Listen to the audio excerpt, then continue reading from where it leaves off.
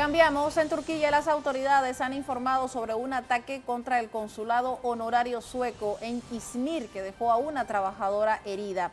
Desde Estambul, nuestro colaborador Yunus Soner con los detalles. Adelante.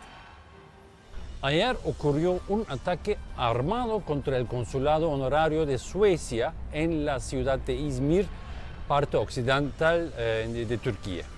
La empleada del consulado fue herida gravemente, el asaltante fue detenido.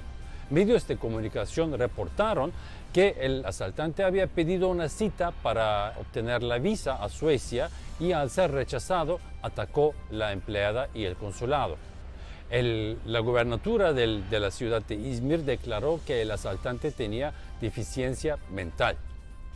A pesar de que por lo visto no hay conexión con ello, el ataque ocurre en tiempos cuando los países islámicos y Turquía también tienen mucho conflicto con Suecia y otros países norte europeos porque en estos países ocurren quemaduras y protestas contra el libro sagrado del Islam, el Corán. Seguiremos los incidentes desde Estambul para Telesur. Gracias, Juno, por tu reporte.